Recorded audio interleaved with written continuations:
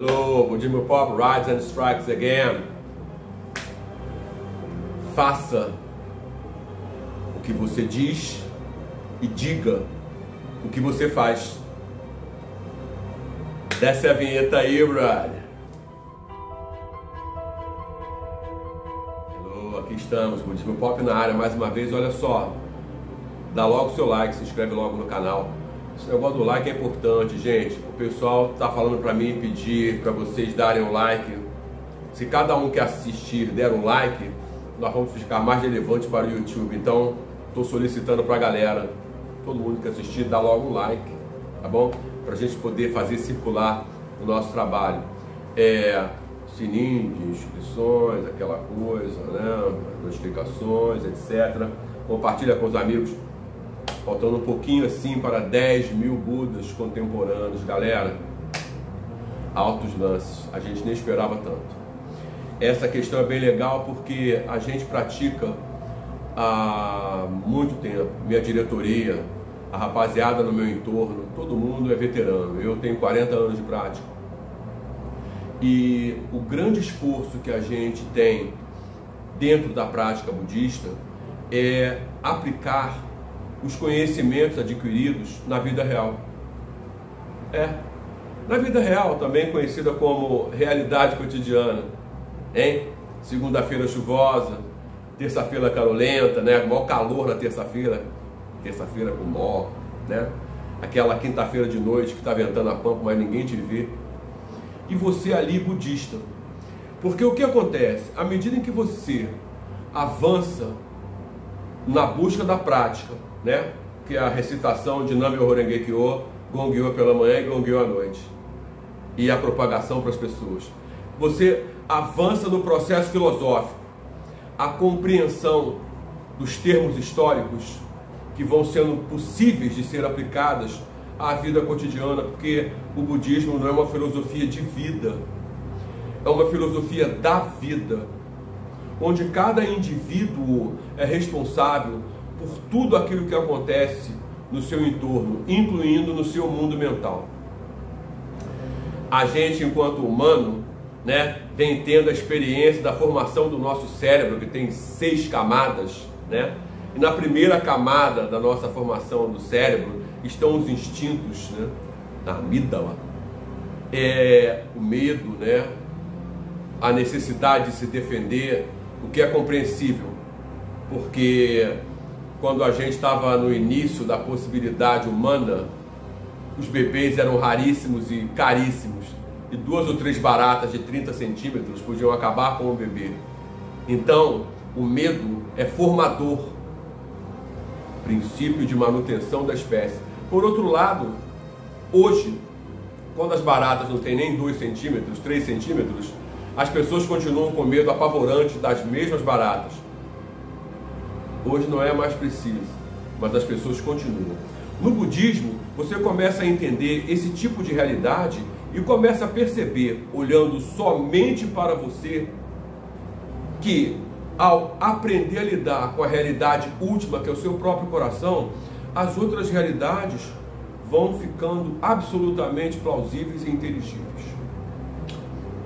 Por que essa abordagem?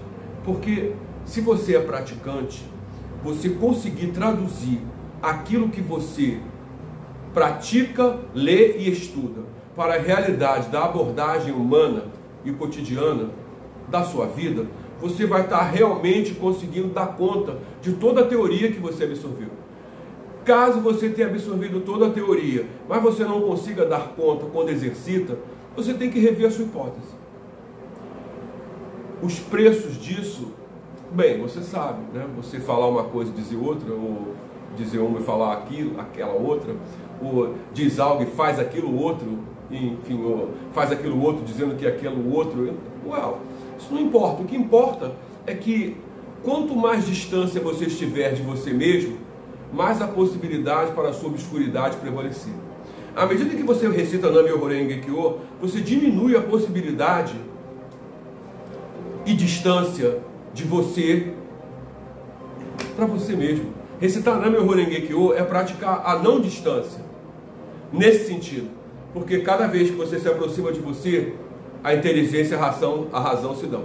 A inteligência e a razão, quando se dão, isso é importante, gente. Quando a inteligência e a razão se dão, o produto é sabedoria, que embora seja inerente ao ser humano, ela não é imediata. Por quê? Porque ela é produto. Você tem que desejar, você tem que se interessar, você tem que procurar para poder conseguir. E onde é que você vai procurar?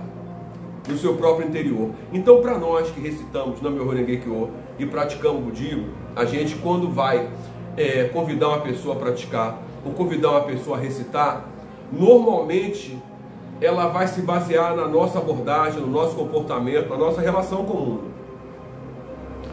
Ela vai mais adiante verificar se a nossa relação com o mundo é compatível com aquilo que a gente propôs para ela enquanto propagava o budismo para ela. Obviamente que é legal, portanto, se você conseguir, ao fazer as coisas, fazer aquilo que você pensa, e ao pensar as coisas, realizá-las da maneira que você quer fazer, permita você um tipo de integridade que certamente vai fazer mais impacto para a propagação da lei do que se você fizesse mil discursos.